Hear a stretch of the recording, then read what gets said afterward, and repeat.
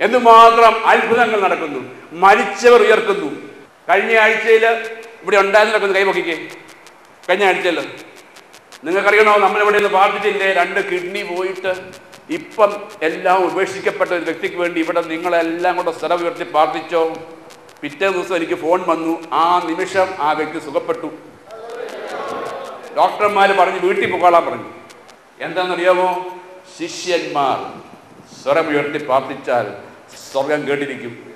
ശിഷ്യന്മാർ പ്രാർത്ഥിക്കുമ്പോൾ യേശുവിനോട് ഐക്യപ്പെട്ട് യേശുവിന്റെ നാമത്തിൽ എന്ത് പ്രാർത്ഥിച്ചോ അപ്പോൾ തന്നെ ഉത്തരവാ. നാളത്തേക്കല്ല. ഒറ്റ നിമിഷം.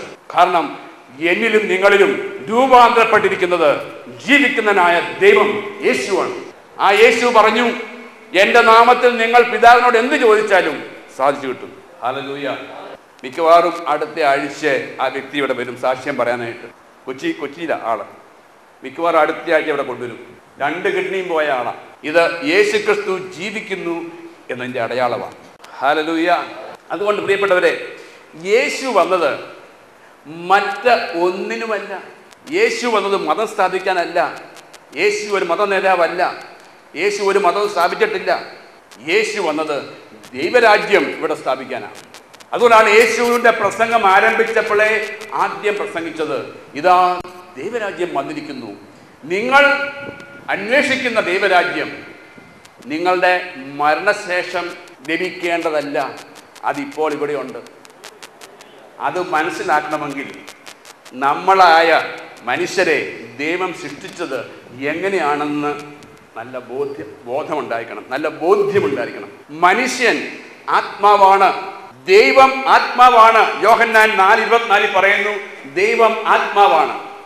ആത്മാവായ ദൈവം പറഞ്ഞു നമുക്ക് നമ്മുടെ ഛായയിലും നമ്മുടെ സദൃശ്യത്തിലും മനുഷ്യനെ സൃഷ്ടിക്കാം. അപ്പൊ ആത്മാവായ ദൈവം എന്നെ നിങ്ങളെ ദൈവത്തിന്റെ ഛായ സൃഷ്ടിച്ചെങ്കിൽ ദൈവത്തിന്റെ ഛായ ആത്മാവാണെങ്കിൽ എന്റെ നിങ്ങളുടെ ഛായ ആത്മാവാണ്. ഇവിടെ ഇരിക്കുന്നത് ആത്മാക്കളാണ്. ഈ ആത്മാക്കൾ ഈ ഭൂമിയിൽ ജീവിക്കുമ്പോൾ അതിനു വേണ്ടി ഈ മണ്ണിൽ നിന്നും മെനഞ്ഞെടുത്ത ഒരു ശരീരം ഉണ്ട്. യഥാർത്ഥ മനുഷ്യൻ ആത്മാവാണ്. ആ ആത്മാവായ മനുഷ്യൻ ഒരു ശരീരത്തിൽ ജീവിക്കുന്നു. ഈ ഈ ഭൂമി ഭൗതികമാണ്. ഈ ഭൂമിയിൽ എന്റെ ശരീരത്തിൽ ഞാൻ നടന്നു നീങ്ങുന്നു.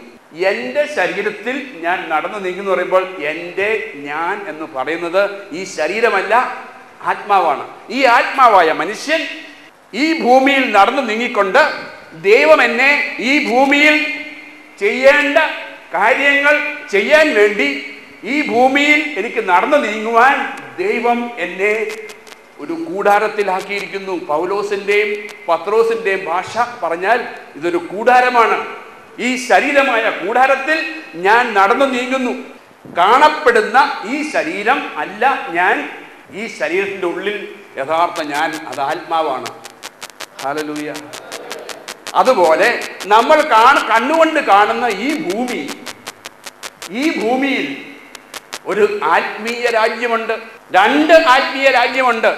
നമ്മൾ ഇവിടെ കടന്നു വരുന്നതിന് മുമ്പ് തന്നെ ഒരു ആത്മീയ രാജ്യമുണ്ട് സാത്താന്റെ അവൻ പ്രധാനപ്പെട്ട മാലാഖയായിരുന്നു.